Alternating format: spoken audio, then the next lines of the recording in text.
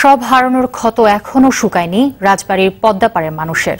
নদী ভাঙনে নিঃস্ব মানুষ মানবেতর দিনাতিপাত করছেন। নতুন করে যেখানে ডেরা গড়েছেন, তা নিয়েও আছেন শঙ্কায়। আবারও যদি শুরু হয় ভাঙন, স্থায়ী বাঁধ হলেই কেবল শঙ্কা কাটতে পারে নদী পাড়ের মানুষের। খান আলামিনের রিপোর্টে জানুন বিস্তারিত, ছবি তুলেছেন স্বপন দেওয়ান।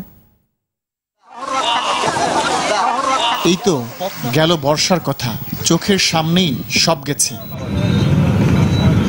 বাড়িঘর, গাছপালা, হাটবাজার, স্কুল কলেজ, কোনো কিছুই রক্ষা পায়নি পদ্মার করাল গ্রাস থেকে। বলছি, রাজবাড়ী জেলার কথা। ওই দূরেই ছিল নিজের স্বপ্নভূমি। কয়েক বছর আগের কথা। এখন সেখানে চর জাগতে শুরু করেছে। ভাঙছে, নতুন করে যেখানে ডেরা গড়েছেন। গত কয়েক বছরে রাজবাড়ির পাঁচ উপজেলার প্রায় পনেরো হাজার পরিবার নিঃস্ব হয়েছেন পদ্মায়। জমি জমা ছিল, সব তো আর কষ্টই। এই ওই যে ব্যবহারটা আছে না ওই ব্যবহার পর্যন্ত আসলে ওই এইখানে চর। এখান দিয়ে ফসল হইতো। ওই ব্যবহারের ওই পাশে আসলে গাং। বুঝছেন? ওই গাং যখন ছিল তখন ওখান থেকে ভাঙতে ভাঙতে ভাঙতে ভাঙতে এই পর্যন্ত আইলো। রোদে ভাঙছে দেখছি রোদে তো দাবা নিয়ে গেছে খালি। খালি দাবা নিয়ে গেছে। গান ছিল তো ওই জায়গা এই গাং বাঙনে একটা ভাই আমার তো যে ভাই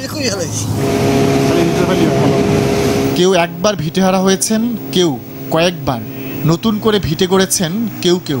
কেউ বা ভাড়া কিংবা অস্থায়ী আশ্রয় নিয়ে সংসার পেতেছেন জীবনের নিয়মে। কুড়ি বছর হয়ে গেল তিন চার ভাঙা দিছি তো। ওই আমবাড়ির দেশে ছিলাম।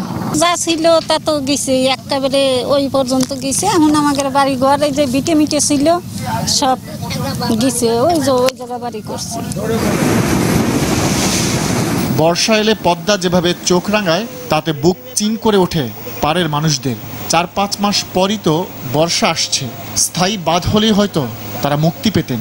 আমাদের এই গাংটা বাজে দিলে আমরা বাঁচি বাবা। একাদশে যাই যেটা খাই বাড়িটা ঘরটা থাকলি ঘরতলা মাথায় দিয়ে থাকবে বাড়ি। পরের জায়গায় কয়দিন থাকা যায়? বাইতে দিলে মানুষ অনেকে মঙ্গল। আমরা তো ভাঙেছি তো মনে হচ্ছে থিতকুল পাইছি।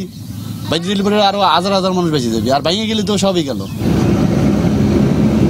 নদীর এপার ভাঙে ওপার গড়ে এই তো নদীর খেলা। এই খেলায় হাপিত্তিস বাড়ে নদী পাড়ের মানুষের। রাজবাড়ী জেলাটি পূর্ব থেকে পশ্চিমে পঁচাশি কিলোমিটার আর এই পঁচাশি কিলোমিটারই পদ্মা নদীর পাড়ে অবস্থিত। এর মাঝে অতি ঝুঁকিপূর্ণ সাড়ে চার কিলোমিটার এলাকাকে রক্ষার জন্য স্থায়ী বাঁধ নির্মাণ প্রকল্প হাতে নেওয়া হয়েছে। রাজবাড়ির মানুষ বলছেন, যেসব এলাকা ঝুঁকিপূর্ণ, সেখানে যদি সেই সাড়ে চার কিলোমিটারের মতো স্থায়ী বাঁধ নির্মাণের প্রকল্প হাতে নেওয়া হয়, তাহলে রাজবাড়িকে রক্ষা করা সম্ভব।